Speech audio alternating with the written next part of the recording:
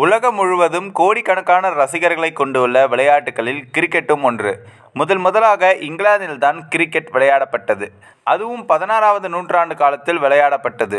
இந்தியாவில் ஆயிரத்தி எழுநூற்றி இருபத்தி ஒன்றாம் ஆண்டு கிரிக்கெட் போட்டி விளையாடப்பட்டது. கடந்த ஆயிரத்தி தொள்ளாயிரத்தி எழுபத்தி நான்காம் ஆண்டு தான் முதல் முதலாக ஒரு நாள் கிரிக்கெட் போட்டி இந்தியாவில் நடத்தப்பட்டது.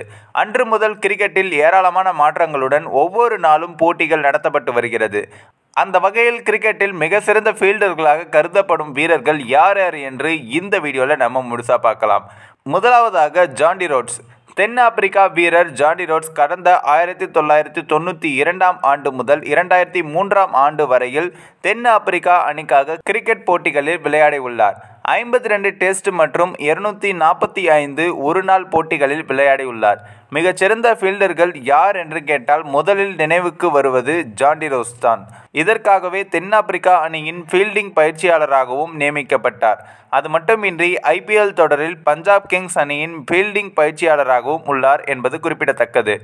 அடுத்ததாக ரவீந்திர ஜடேஜா. பேட்ஸ்மேன் பவுலர் மட்டுமின்றி சிறந்த ஃபீல்டரும் கூட.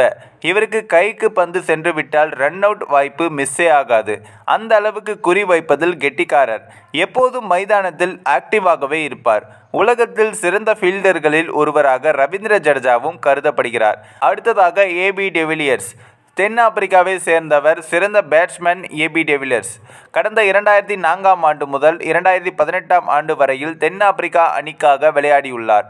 இது தவிர ஐபிஎல் தொடர்களில் ராயல் சேலஞ்சர்ஸ் பெங்களூரு அணியில் இடம்பெற்று விளையாடியிருக்கிறார். அடுத்ததாக டூப்ளசிஸ். தென்னாப்பிரிக்கா அணியின் சிறந்த விளையாட்டு வீரர்களில் டூப்ளசிஸ் ஒருவர். இவர் இரண்டாயிரத்தி பதினொன்றாம் ஆண்டு முதல் இரண்டாயிரத்தி இருபத்தி ஒன்றாம் ஆண்டுகளில் தென்னாப்பிரிக்கா அணியில் இடம்பெற்று விளையாடியுள்ளார். ஐபிஎல் தொடர்களில் தோனி தலைமையிலான சென்னை சூப்பர் கிங்ஸ் அணியில் விளையாடி வந்த டூப்ளசிஸ் ராயல் சேலஞ்சர்ஸ் பெங்களூரு அணியின் கேப்டனாக விளையாடி வருகிறார். அடுத்ததாக ஹெர்ஷல் கிப்ஸ்.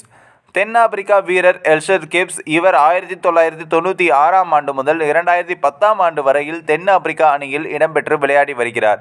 இவர் மைதானத்தில் ஒரு ஃபீல்டராக வந்துவிட்டால் கண்டிப்பாக எதிரணிக்கு ஆபத்துதான். அடுத்ததாக சுரேஷ் ரெய்னா.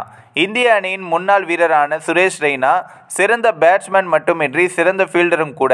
ஐபிஎல் கிரிக்கெட்டில் அதிகப்படியான கேட்சிகள் பிடித்தவர்களின் பட்டியலில் நம்பர் ஒன் இடத்தில் உள்ளார்.